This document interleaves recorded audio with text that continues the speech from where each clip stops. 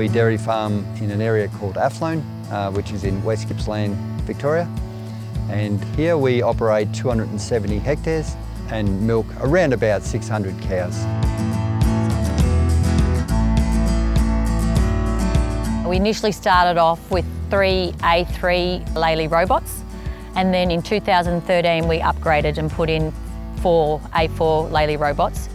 And on the home farm we've got six A5 robots. They're both run separately.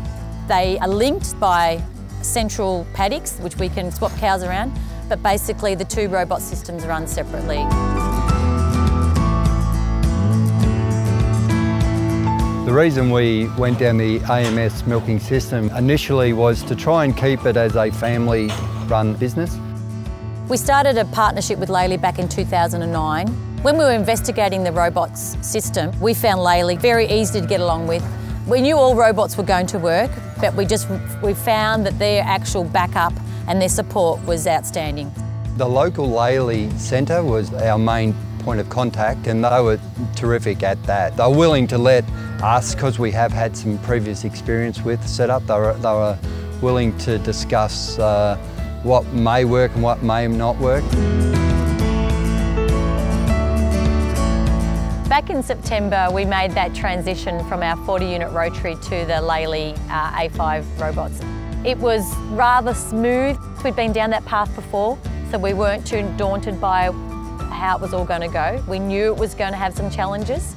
Uh, we also knew that once we got the cows up to the shed, that they would probably be comfortable to go through them because we had been walking them through the robots whilst we're still milking in the rotary shed.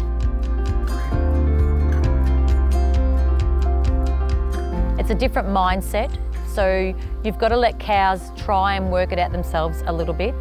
Uh, you can't generally be pushing them all the time because they will just stamp their ground. They want to be freely moving themselves. Once you make that decision to go down the robot system, you need to just step back a little bit and just let cows show you the way. The features that we like about the AMS system is the relaxed voluntary nature of the whole milking system. You've still got to work as a farmer. You're still doing those routine jobs, whether they're fencing or, or sowing paddocks or fertiliser. So those jobs are all the same. The milking process is taken care of by the AMS uh, units, but the cow flow is all voluntary. So cows are free to move on the farm wherever they like. We also get so much data from the system Cow health is a major thing. The reports that you can get off the system is amazing. You can pick up cows that are sick quite very quickly. In the old rotary system, you definitely had to be watching all the time. It used to worry me a little bit, whereas I've got a lot more confidence now with the Lely system that anybody could come in and look at a report and pick up a cow that's sick.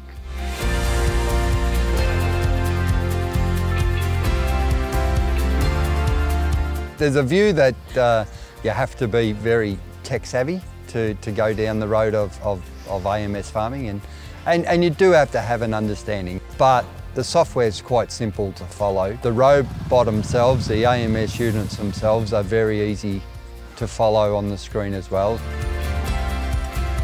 The business structure and, and, and how you pay for the system of an AMS system is, labour's got to be the main one. Labour's very hard to get at the moment, but it's also reasonably expensive.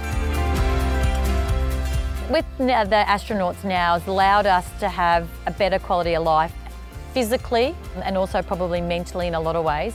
It's quite uh, draining at times when you know you have to be in a conventional shed, you have to be there at whether it's 5.30 in the morning and 3.30, 4 o'clock in the afternoon. It gives us a lot of flexibility in our life the robot system. We're heavily involved in a lot of committees, a lot of organisations. We've got seven beautiful grandkids that we want to be part of. So the robot system's allowed to give us more flexibility in our life. So it's a win-win.